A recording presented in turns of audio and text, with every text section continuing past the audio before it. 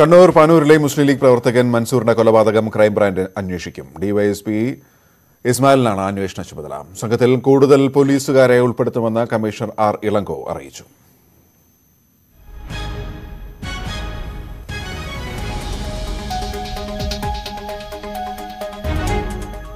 പോലീസിന്റെ ഭാഗത്ത് ഇനി കൂടുതൽ ഉദ്യോഗസ്ഥർ ആൻഡ് ജില്ലാ ക്രൈംബ്രാഞ്ച് ഡിവൈഎസ്പി നേതൃത്വത്തിലൊരു അന്വേഷണ സംഘം അത് ഈ കേസ് ഇന്ന് തന്നെ ഏറ്റെടുക്കും. ആൻഡ് എത്രയും പെട്ടെന്ന് പ്രതികളെ പിടിക്കാനായിട്ട് പോലീസിന്റെ ഭാഗത്തുള്ള ഫുൾ എഫേർട്സും ഉണ്ടാകും അതേസമയം സംഘർഷം തുടർന്ന കണ്ണൂർ പാനൂരിൽ സമാധാനം പുനഃസ്ഥാപിക്കാനുള്ള സർവകക്ഷി യോഗത്തിൽ തീരുമാനമായില്ല. കലക്ടർ വിളിച്ച യോഗം യു ഡി എഫ് ബഹിഷ്കരിച്ചു. അക്രമം നടന്ന നാൽപ്പത്തിയെട്ട് മണിക്കൂർ പിന്നിട്ടിട്ടും പോലീസ് കൊലപാതകളെ പിടികൂടാത്തതിൽ പ്രതിഷേധിച്ചാണ് ബഹിഷ്കരണം. പോലീസ് നടപടി ഏകപക്ഷീയമാണെന്ന് യു ഡി എഫ് നേതൃത്വം പറഞ്ഞു. ഈ സമാധാന യോഗം ബഹിഷ്കരിക്കുകയാണ്.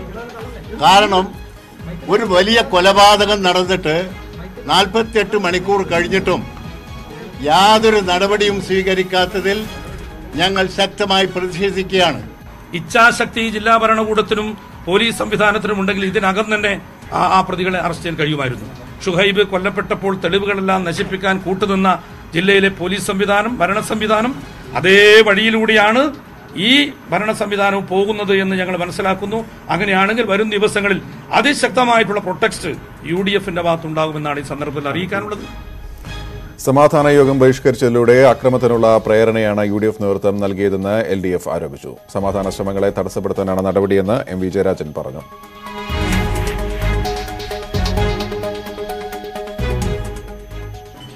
ഈ അക്രമം ഒരരിഞ്ഞാട്ടമാണ്. നാട്ടിൽ കലാപം ഉണ്ടാക്കാൻ വേണ്ടി ആസൂത്രിതമായി ലീഗ് ക്രിമിനലുകൾ നടത്തിയ അക്രമമാണിത്. എട്ട് പാർട്ടി ഓഫീസുകൾ നിരവധി കടകൾ സ്റ്റുഡിയോ വീടുകൾ. ഇവക്ക് നേരെയാണ് ഈ ഒരിക്കലും ആർക്കും അംഗീകരിക്കാൻ കഴിയാത്ത വിധത്തിൽ അക്രമം നടന്നത്. ഈ അക്രമത്തിൽ നാടെമ്പാട് പ്രതിഷേധമാണ്. തീർച്ചയായും ലീഗ് പ്രവർത്തകന്റെ മരണം ദുഃഖകരവും ദൗർഭാഗ്യകരവുമായ ഒരു സംഭവമാണ്. അക്കാര്യം നേരത്തെ തന്നെ സി പി ഐയും വ്യക്തമാക്കിയതാണ്. പക്ഷെ അതിന്റെ മറവിൽ നാടെമ്പാടും കലാപം ഉണ്ടാക്കുക എന്ന് പറഞ്ഞാൽ അതാർക്കും അംഗീകരിക്കാൻ കഴിയുന്ന കാര്യമല്ലല്ലോ. ഇത്രയും ദീർഘസമയം കത്താനുള്ള ഒരു ഉപകരണം ഉപയോഗിച്ച് കത്തിക്കുക എന്ന് പറഞ്ഞാൽ നാട് കത്തിക്കുക എന്നുള്ളതാണ് അതിന്റെ അർത്ഥം. യോഗം ബഹിഷ്കരിച്ചവരെ കൂടി സഹകരിപ്പിച്ചുള്ള ഉഭയകക്ഷി ചർച്ചയ്ക്കും സമാധാന ശ്രമങ്ങൾക്കുള്ള സാധ്യതയാണ് തേടുന്നതെന്ന് കണ്ണൂർ ജില്ലാ കലക്ടർ വ്യക്തമാക്കി. യോഗത്തിൽ എല്ലാവരും കൊലപാതകത്തെ അപലപിച്ചെന്നും ഇറങ്ങിപ്പോയവരുടെ വികാരം മനസ്സിലാക്കുന്നുവെന്നും അദ്ദേഹം പറഞ്ഞു.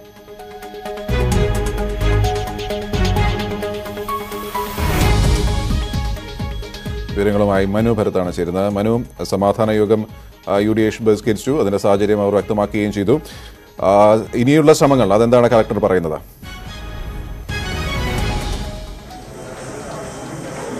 അല്ല ഈ കേസ് പ്രധാനമായും ക്രൈംബ്രാഞ്ചിന് വിട്ടിരിക്കുന്നു.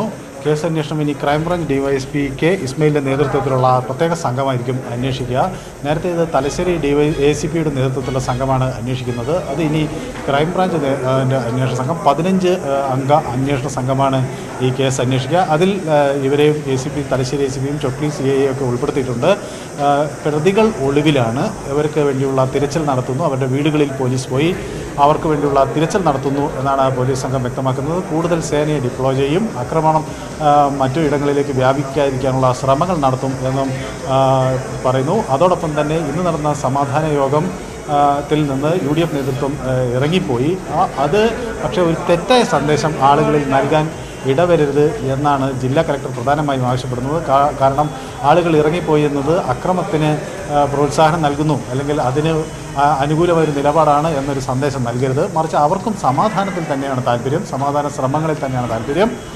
പക്ഷേ ഈ പ്രതികളെ പിടികൂടാൻ കഴിയാത്തതിൽ ഉള്ള പ്രതിഷേധ സൂചകമായാണ് അവർ ഇറങ്ങിപ്പോയത്. അപ്പോൾ പ്രതികളെ പിടികൂടുന്ന മുറയ്ക്ക് കൂടുതൽ സമാധാന ചർച്ചകൾക്കുള്ള സാധ്യതയുണ്ട് എന്നും അവർ വ്യക്തമാക്കുന്നു. അതുകൊണ്ട് തന്നെ ഇത് ഒരു സമാധാന താഴെത്തട്ടിലേക്കും ഇപ്പോൾ ജില്ലാ തലത്തിൽ നടന്ന സമാധാന ശ്രമം പോലെ താഴെത്തട്ടിലേക്കും സമാധാന ചർച്ചകൾ നടത്തണം എന്നതിനെക്കുറിച്ചൊരു ആലോചന ഉണ്ടായിരുന്നു. പക്ഷേ ഇങ്ങനെ യു ഡി എഫ് നേതൃത്വം ഇറങ്ങിപ്പോയതുകൊണ്ട് ഇനി അത് എത്രമാത്രം ഫലവത്താകും എന്നറിയില്ല. പക്ഷേ അതിനുള്ള ശ്രമങ്ങൾ നടത്തിയതിന് ശേഷം വീണ്ടും ഈ താഴെത്തട്ട് മുതൽ ജില്ലയിൽ ആകമാനം ഒരു സമാധാന അന്തരീക്ഷം സൃഷ്ടിക്കുന്നതിന് വേണ്ടിയുള്ള ശ്രമങ്ങൾ നടത്തും എന്നാണ് ഈ ജില്ലാ കലക്ടർ അതുപോലെ Kannur police commissioner R Ilango rural S P Navneet Sharma എന്നിവർ വ്യക്തമാക്കി. ശരി മാഡം. കണ്ണൂർ പാനൂരിൽ മുസ്ലിം ലീഗ് പ്രവർത്തകൻ മൻസൂറിനെ കൊലപ്പെടുത്തിയതിന് കൃത്യമായ ഗൂഢാലോചനയ്ക്ക് ശേഷമാണെന്ന് പോലീസിന് വിവരം ലഭിച്ചു. കസ്റ്റഡിയിലായിരുന്ന സി പി എം പ്രവർത്തകനെ അറസ്റ്റ് പോലീസ് രേഖപ്പെടുത്തി. രാത്രിയിൽ ആക്രമണത്തിൽ തകർന്ന സി പി എം ഓഫീസുകളും സ്ഥാപനങ്ങളും ജില്ലാ സെക്രട്ടറി എം വി ജയരാജൻ അടക്കമുള്ള സി പി എം നേതാക്കൾ സന്ദർശിച്ചു.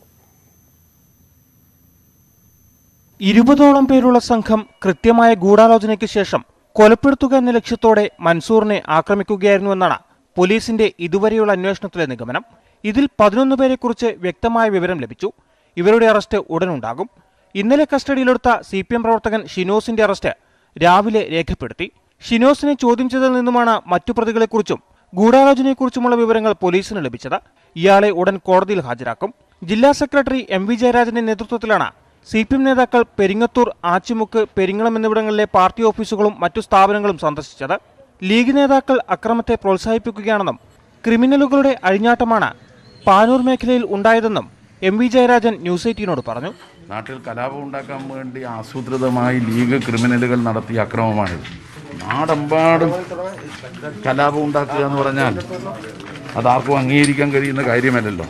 ഇത്രയും ദീർഘസമയം കത്താനുള്ള ഒരു ഉപകരണം ഉപയോഗിച്ച് കത്തിക്കുക എന്ന് പറഞ്ഞാൽ നാട് കത്തിക്കുക എന്നുള്ളതാണ് അതിന്റെ അർത്ഥം. എന്നാൽ സി പി എം ആണ് അക്രമം അഴിച്ചുവിട്ടതെന്നും പ്രവർത്തകരെ നിയന്ത്രിക്കേണ്ടത് സി പി എം നേതാക്കളാണെന്നും മുസ്ലിം ലീഗ് ആരോപിച്ചു. ഇപ്പോഴത്തെ ജില്ലാ പോലീസ് മേധാവിയുടേതടക്കം കയ്യും കാലും സംസ്ഥാന ഭരണകൂടം കെട്ടിയിരിക്കുന്നു. അസിസ്റ്റന്റ് കമ്മീഷണർ വി സുരേഷിന്റെ നേതൃത്വത്തിലാണ് കൊലപാതകത്തെക്കുറിച്ച് അന്വേഷിക്കുന്നത്. കമ്മീഷണർ ആർ ഇളങ്കോയ്ക്കാണ് മേൽനോട്ട ചുമതല. സ്ഥലത്ത് കനത്ത പോലീസ് കാവൽ തുടരുകയാണ്. News eighteen Kannur. പാനൂർ കൊലപാതകം സർക്കാരിന്റെയും പാർട്ടിയുടെയും സൽപ്പേരിന് കളങ്കമുണ്ടാക്കിയെന്ന് മന്ത്രി ഇ പി ജയരാജൻ. പാനൂരിലേത് പ്രാദേശിക വിഷയമാണെന്നും പാർട്ടിക്ക് ബന്ധമില്ലെന്നും ഇ പി ജയരാജൻ പറഞ്ഞു. അക്രമങ്ങളിലേക്ക് പോകാതിരിക്കാൻ സി പി എം പ്രവർത്തകർ ശ്രദ്ധിക്കണമെന്നും അദ്ദേഹം പറഞ്ഞു. അങ്ങയുടെ ജില്ലയിൽ പാനൂരിൽ ഒരു ഇരുപത്തൊന്ന് വയസ്സുള്ള ഒരു മുസ്ലിം ലീഗ് പ്രവർത്തകനെ സി പി എം പ്രവർത്തകർ എന്ന് പറയുന്നു. സി പി എം നിഷേധിക്കെങ്കിൽ പോലും രാഷ്ട്രീയ കൊലപാതകം എന്ന് പറയുന്നു. പക്ഷെ അങ്ങനെ ഒരു കൊലപാതകം നടക്കാനിടയായി. ഈ കൊലപാതക രാഷ്ട്രീയം കേരളം നിർത്തേണ്ട സമയമായില്ലേ? തീർച്ചയായും ദൗർഭാഗ്യകരമായൊരു സംഭവമാണിത്.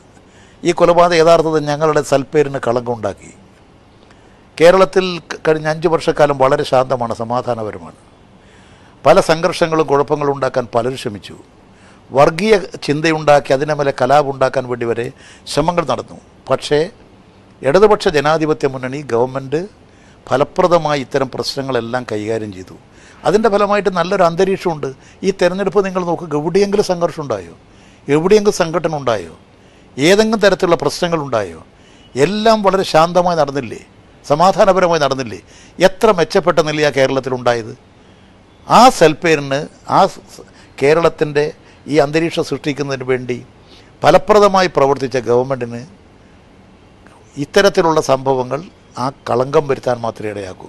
അതുകൊണ്ട് ഇത് പാർട്ടി അറിഞ്ഞുകൊണ്ടോ അല്ലെങ്കിൽ പാർട്ടി പ്രവർത്തകരോ ഒന്നും നിർവഹിച്ചിട്ടുള്ള കാര്യമേ അല്ല. ഇത് പ്രാദേശികമായി ഉണ്ടായിട്ടുള്ള സംഘർഷങ്ങൾ തെരഞ്ഞെടുപ്പ് രംഗത്തുണ്ടായിട്ടുള്ള പരസ്പരമായിട്ടുള്ള സംഘർഷങ്ങൾ ആ സംഘർഷങ്ങൾ ദൗർഭാഗ്യകരമായ ഒരു അവസ്ഥയിലേക്ക് എത്തി ഒരു തരത്തിലും ഈ കൊലപാതകത്തെ ഒന്നും സി പി എം ന്യായീകരിക്കില്ല അംഗീകരിക്കില്ല. ഇത്തരം ഒരു നടപടികളും ഉണ്ടാകാൻ പാടില്ല. ഇത്തരം നടപടികളെ ശക്തമായി പാർട്ടി അപലപിക്കുകയാണ്. പനൂർ കൊലപാതകവുമായി ബന്ധപ്പെട്ട പി ജയരാജന്റെ മകൻ ഫേസ്ബുക്കിൽ നടത്തിയ അഭിപ്രായ പ്രകടനത്തിൽ പാർട്ടിക്ക് ഉത്തരവാദിത്തമില്ലെന്ന് സി പി എം സംസ്ഥാന സെക്രട്ടറി എ വിജയരാഘവൻ പനൂരിൽ യു ഡി എഫ് പ്രവർത്തകർ നിയമം കയ്യിലെടുക്കുന്നത് കയ്യിലെടുക്കുകയാണെന്നും അക്രമത്തെ പ്രോത്സാഹിപ്പിക്കുകയാണെന്നും അദ്ദേഹം ആരോപിച്ചു. സാധാരണഗതിയിൽ ഉണ്ടാവേണ്ട പ്രതികരണങ്ങൾക്ക് അപ്പുറത്തുള്ള പ്രതികരണങ്ങൾ ഉണ്ടായിരിക്കാം അപ്പം അത് അതിനെ പ്രോത്സാഹിപ്പിക്കുന്ന സമീപനമാണ് ഇപ്പോൾ യു ഡി എഫിന്റെ ഭാഗത്തുണ്ട് സുത്രിത ആക്രമണങ്ങൾ കട്ടഴിച്ചു വിടാനുള്ള പരിശ്രമം നടത്തുക എന്നത് ഒരു കാരണവശാലും അത് അംഗീകരിക്കാൻ കഴിയില്ല. അതുകൊണ്ട് ലീഗ് നേതൃത്വം തന്നെ ഈ ഈ അക്രമത്തിൽ നിന്ന് പിൻവാങ്ങാൻ നിർദ്ദേശിക്കുകയും സമാധാന പരിശ്രമങ്ങളുമായി സഹകരിക്കാൻ മുന്നോട്ട് വരികയുമാണ്.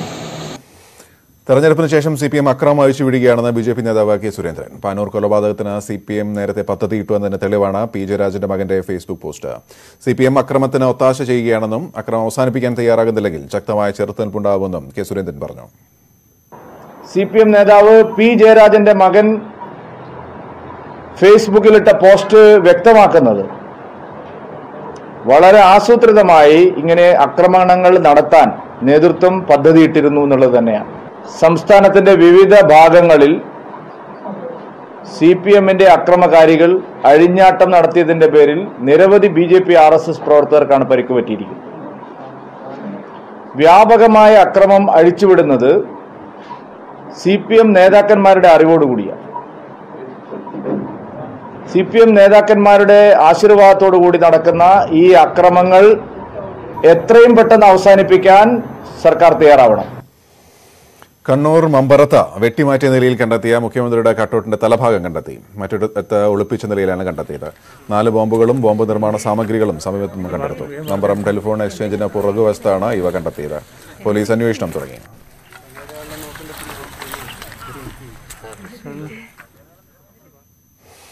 ഒന്നേകാൽ ലക്ഷം കടന്ന രാജ്യത്ത് കോവിഡ് വർധന. ഇരുപത്തിനാല് മണിക്കൂറിനിടെ ഒരു ലക്ഷത്തി ഇരുപത്തി ആറായിരത്തിലധികം കോവിഡ് ബാധയും അറുന്നൂറ്റമ്പത്തഞ്ച് മരണങ്ങളും സ്ഥിരീകരിച്ചു.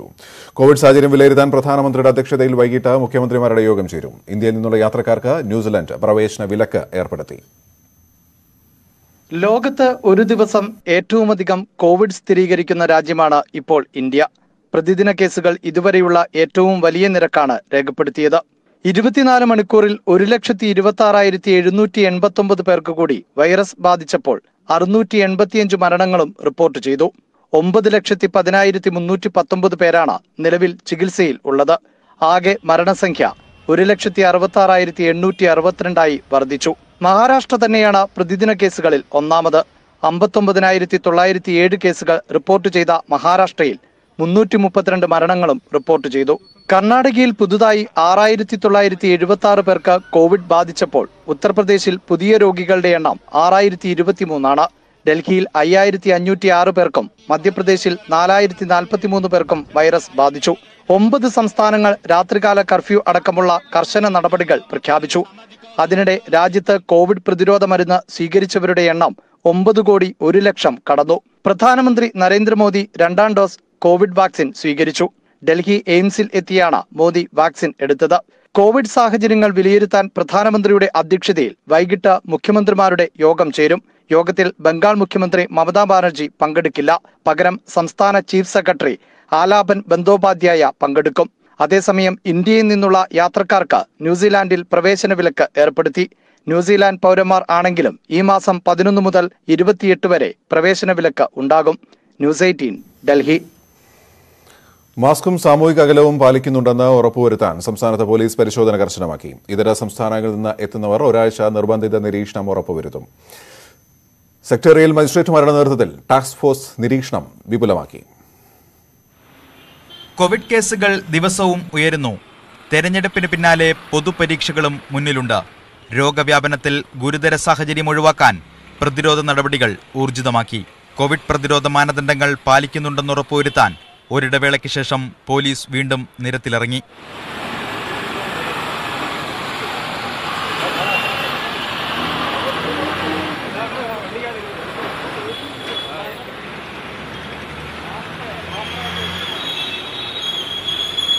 മാനദണ്ഡങ്ങൾ ലംഘിക്കുന്നവർക്കെതിരെ നടപടിയെടുക്കും. രോഗികളുടെ എണ്ണം കൂടുതലുള്ള പ്രദേശങ്ങളിൽ കണ്ടെയ്ൻമെന്റ് സോൺ നിയന്ത്രണങ്ങൾ ഏർപ്പെടുത്തും. വാക്സിനേഷൻ ഊർജിതമാക്കാനും തീരുമാനിച്ചിട്ടുണ്ട്. വിദേശത്തു നിന്നും ഇതര സംസ്ഥാനങ്ങളിൽ നിന്നും എത്തുന്നവരുടെ ക്വാറന്റൈൻ തുടരും. ഇത് ഉറപ്പുവരുത്താൻ താലൂക്ക് അടിസ്ഥാനത്തിൽ കൂടുതൽ സെക്ടറൽ മജിസ്ട്രേറ്റുമാരെ നിയമിക്കും.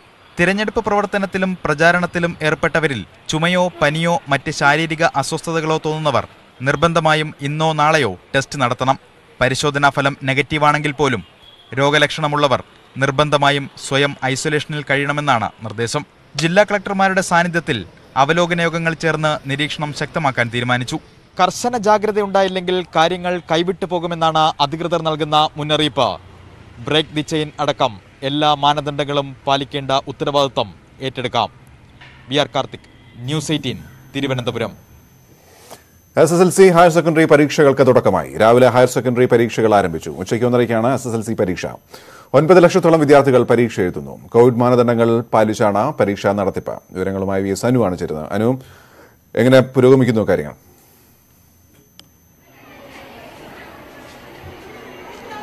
ഗോപി ഹയർ സെക്കൻഡറി പരീക്ഷ രാവിലെ തന്നെ ആരംഭിച്ചു. ഇപ്പോൾ ഒന്നരയ്ക്ക് എസ് എൽ സി പരീക്ഷ ആരംഭിക്കും. ഇപ്പോൾ വിദ്യാർത്ഥികൾ അവരുടെ ക്ലാസ്സുകളിലേക്ക് എത്തിക്കൊണ്ടിരിക്കുകയാണ്.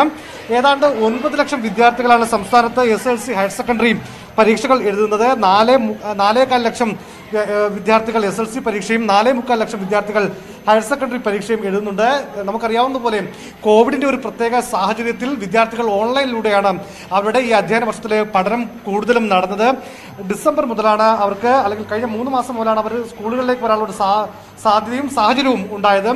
സംസ്ഥാനത്ത് കോവിഡ് കൂടുന്ന സാഹചര്യത്തിൽ കർശനമായ കോവിഡ് പ്രോട്ടോക്കോളുകൾ എല്ലായിടത്തും പാലിക്കുന്നുണ്ട്. പ്രത്യേകിച്ച് വിദ്യാർത്ഥികൾ എത്തുമ്പോൾ അവർക്ക് സാനിറ്റൈസറും അവരുടെ ശരീരോഷ്മാവ് അടക്കം പരിശോധിക്കുകയും ചെയ്യുന്നുണ്ട്. ഇന്ന് മലയാളം ഒന്നാം പേപ്പറാണ് ഇവിടെ ഇന്ന് പരീക്ഷ നടക്കുന്നത്. ഒന്നേ മുക്കാലോടുകൂടി ഒന്നരയോടുകൂടി വിദ്യാർത്ഥികൾ ക്ലാസ്സിനകത്ത് കയറണം. ഒന്നേ മുക്കാലോട് പരീക്ഷ ആരംഭിക്കും എന്നും അറിയിച്ചിട്ടുണ്ട്. നേരത്തെ ഗോപി സൂചിപ്പിച്ചതുപോലെ തന്നെ ഈ ഒരു കോവിഡിന്റെ വ്യാപനം അത് തന്നെയാണ് വിദ്യാർത്ഥികളെ ആശങ്കയിലാക്കുന്ന ഏറ്റവും പ്രധാനപ്പെട്ട കാര്യം. അതുകൊണ്ട് തന്നെ കർശനമായ നിർദ്ദേശങ്ങൾ വിദ്യാഭ്യാസ വകുപ്പ് അടക്കം ഇവർക്ക് നൽകിയിട്ടുണ്ട്. മോളെ എന്താണ് പരീക്ഷ? എന്താണ് ഒരു ഈ കോവിഡ് ആണ് അങ്ങനെ പേടി എന്തെങ്കിലും ഉണ്ടോ? ആ ടെൻഷൻ ഉണ്ടോ പരീക്ഷയെ സംബന്ധിച്ച്? ഈ ഓൺലൈൻ പഠനം എങ്ങനെ ഉണ്ടായിരുന്നു? കുഴപ്പമില്ല കൊള്ളായിരുന്നു ആ, ഗോപി വിദ്യാർത്ഥികളെ സംബന്ധിച്ച് നേരത്തെ തന്നെ അധ്യാപകർ പറഞ്ഞിരുന്നു. കാരണം ഇവർക്ക് റിവിഷൻ നൽകിയ സമയത്ത് പ്രാധാന്യം അർഹിക്കുന്ന പാഠങ്ങൾ ഇവർക്ക് നേരത്തെ തന്നെ നൽകിയിട്ടുണ്ട്. അതുകൊണ്ട് തന്നെ കൂടുതൽ ആശങ്കപ്പെടേണ്ട സാഹചര്യമില്ല. പ്രത്യേകിച്ച് നമുക്ക് ഈ ഈ ഓൺലൈൻ ക്ലാസ്സുകളിലാണ് വിദ്യാർത്ഥികൾ കൂടുതൽ പങ്കെടുത്തിട്ടുള്ളത്. അല്ലെങ്കിൽ അതിനുള്ള സാഹചര്യം അതായിരുന്നു. ഏതായിരുന്നാലും ഒന്നിനോടുകൂടി പരീക്ഷ ആരംഭിക്കും. മലയാളം ഒന്നാം പേപ്പറാണ് ഇന്ന് അവരുടെ പരീക്ഷാ വിഷയവും. ഗോപി. അനുവാണ് വിവരങ്ങൾ നൽകിയത്. കേരളത്തിൽ എൽ ഡി എഫ് തരംഗമെന്നും നൂറ് സീറ്റിലേറെ നേടി ഭരണം നിലനിർത്തുമെന്നും സി പി എം വിലയിരുത്തൽ. അധികാരം നേടാമെന്ന യു ഡി എഫിന്റെ ആഗ്രഹം മാത്രമാണെന്ന് മന്ത്രി പി ജയരാജൻ ന്യൂസ് എയ്റ്റീനോട് പറഞ്ഞു. ബി ജെ പിക്ക് ഒരു സീറ്റ് പോലും ലഭിക്കില്ല എന്നും അദ്ദേഹം അഭിപ്രായപ്പെട്ടു. തെരഞ്ഞെടുപ്പ് ഫലം അപ്രവചനീയമെന്ന വിലയിരുത്തലുകൾക്കിടെയാണ് നൂറിലധികം സീറ്റുകൾ ലഭിക്കുമെന്ന ഇ പി ജയരാജന്റെ ആത്മവിശ്വാസം. കേരളത്തിലെ പിണറായി ഗവൺമെന്റിന് അനുകൂലമായിട്ടുള്ള ഒരു തരംഗം തന്നെയുണ്ട്. അത് ജനങ്ങളിൽ നല്ലതുപോലെ പ്രതിഫലിക്കുന്നുമുണ്ട്. എന്റെ ഒരു കണക്കനുസരിച്ച് ഏതാണ്ട് ഒരു നൂറ് സീറ്റിന് മുകളിലേക്ക് കടക്കും സിറ്റിംഗ് എം എൽ എമാരെ മാറ്റിയത് തിരിച്ചടിയാകില്ല. ഞങ്ങളൊരു പൊതു സിദ്ധാന്തം ഒരു പ്രിൻസിപ്പിൾ എടുത്തു. ആ പ്രിൻസിപ്പിൾ പാർട്ടിയിലെ എല്ലാവരും അനുസരിക്കുന്നതാണ് അതിനോട് ആർക്കും ഒരു വിയോജിപ്പുമില്ല. അത് തെറ്റായി വ്യാഖ്യാനിച്ച് അതൊരു പ്രചരണമാക്കി മാറ്റി അതിനെ ഉപയോഗപ്പെടുത്താൻ കഴിയുമോ എന്നുള്ളതാണ് പലരും ശ്രമിച്ചത്. അതൊന്നും വിലപ്പോവാൻ വേണ്ടി പോകുന്നില്ല. യു ഡി എഫ് അപജയത്തിലേക്ക് പോവുകയാണെന്നും നിലപാട് തിരുത്താൻ തയ്യാറാകണമെന്നും ജയരാജൻ ആവശ്യപ്പെട്ടു. സിദ്ധാന്തത്തിൽ ആകർഷകരായി പ്രവർത്തിക്കുന്നവരാണെങ്കിൽ നിങ്ങൾ ഇന്ന് ചെയ്യുന്നതാണോ നിങ്ങൾ ചെയ്യേണ്ടത്? നിങ്ങളൊന്ന് ആലോചിച്ച് നോക്ക്. നിങ്ങൾ ഇടതുപക്ഷത്തിനെതിരല്ലേ? നിങ്ങൾ ബി ജെ പിയെ സഹായിക്കാനും ഇടതുപക്ഷത്തെ തോൽപ്പിക്കാനുമല്ലേ നടക്കുന്നത്? ബി ജെ പി പൂജ്യത്തിൽ ഒതുങ്ങുമെന്ന് പറഞ്ഞ ഇ പി മുഖ്യമന്ത്രിയാകാൻ തയ്യാറെന്ന് പറഞ്ഞ ഇ ശ്രീധരനെ പരിഹസിച്ചു. ജനങ്ങൾ വിശ്വസിക്കേണ്ടേ അവരെന്തെങ്കിലും പറയുന്നത്? ഞങ്ങൾക്ക് മുപ്പത്തഞ്ച് സീറ്റ് കിട്ടും നാൽപ്പത് സീറ്റ് കിട്ടും ഞങ്ങൾ മുഖ്യമന്ത്രിയാകും. ഈ കേരളത്തിൽ ആരെങ്കിലും അത് വിശ്വസിക്കുന്നുണ്ട്? ഇത് പാല നിർമ്മിക്കലൊന്നുമല്ല രാഷ്ട്രീയം എന്ന് പറയുന്നത്. അദ്ദേഹം അങ്ങനെ ധരിച്ചു കാണുമെന്നാണ് എനിക്ക് തോന്നുന്നത്. ഏതാണ്ട് അദ്ദേഹം ഈ കാര്യങ്ങളിലൊക്കെ ഒരു പൊളിറ്റീഷ്യനാണെന്ന് ഞാൻ കണക്കാക്കുന്നില്ല. V V Arun news eighteen Thiruvananthapuram. സംസ്ഥാനത്ത് പോസ്റ്റൽ വോട്ടുകളിൽ കൃത്രിമം നടന്നുവെന്ന് ബി ജെ പി സംസ്ഥാന അധ്യക്ഷൻ കെ സുരേന്ദ്രൻ. പോസ്റ്റൽ വോട്ടുകൾ കൃത്യമായി തിരികെ എത്തുന്നില്ല.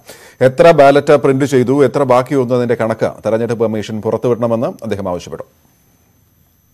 തെരഞ്ഞെടുപ്പ് കഴിഞ്ഞതിന് ശേഷം വ്യാപകമായിട്ടുള്ള കൃത്രിമമാണ് പോസ്റ്റൽ വോട്ടുകളിൽ ഇവർ നടത്തുന്നത്.